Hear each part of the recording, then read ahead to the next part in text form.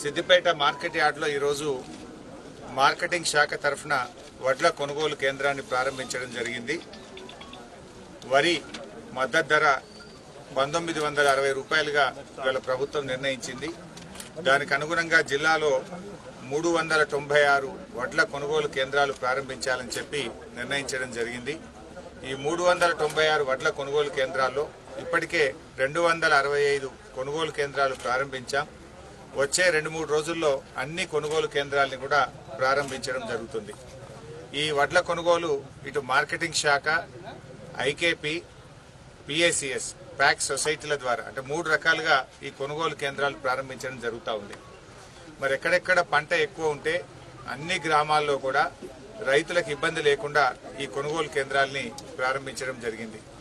ముఖ్యంగా ఇప్పటికే మిల్లర్లు అందరితో కూడా సమావేశాలు పెట్టి ఎక్కడ కూడా రైతాంగానికి ఇబ్బంది లేకుండా ప్రభుత్వం అన్ని చర్యలు కూడా తీసుకుంటా ఉంది. లారీ ట్రాన్స్పోర్ట్తో కానీ ఇటు మిల్లర్స్తో కానీ అటు గోడౌన్స్తో కానీ అన్నీ కూడా టైప్ చేసేటువంటి మరి ప్రక్రియలో జిల్లా కలెక్టర్ గారు జిల్లా యంత్రాంగం అంతా కూడా మరి జాగ్రత్తగా చేయడం జరుగుతూ ఉంది. సిద్దిపేట జిల్లాలో ఈ సంవత్సరం వరి సాగు మూడు లక్షల మూడు వేల ఎకరాల వరి సాగు ఈ సంవత్సరం జిల్లాలో జరుగుతూ ఉంది. గతంలో మనం చూస్తే అరవై డెబ్బై వేల ఎకరాలు మాత్రమే వరి సాగు ఉండేది కానీ ఈరోజు మూడు లక్షల ఎకరాలకు వరి సాగు జరిగిందంటే కాళేశ్వరం ప్రాజెక్టు నీళ్ళు రావడం వల్ల మరి రెండంతలు మూడంతల వరి సాగు ఈరోజు జిల్లాలో పెరిగింది.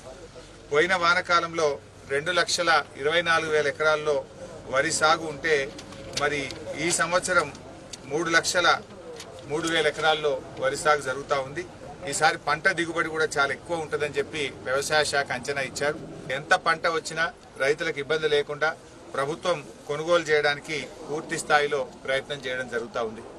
ఒక ఎంత పంట వచ్చిందంటే దీనికి ఇరవై నాలుగు గంటల ఉచిత కరెంటు కావచ్చు కాళేశ్వరం ప్రాజెక్టు నీళ్ళు కావచ్చు రైతు బంధు పథకం కానీ సకాలంలో ఎరువులు విత్తనాలు అందించడం వల్ల ఇవాళ పంట దిగుబడి బాగా పెరిగి రైతాంగం మంచి పంటను ఈరోజు పొందుతా ఉన్నారు.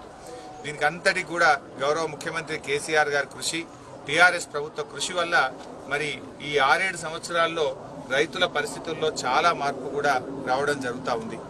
కేంద్ర ప్రభుత్వం నుంచి రావాల్సినంత సహకారం వస్తలేదు.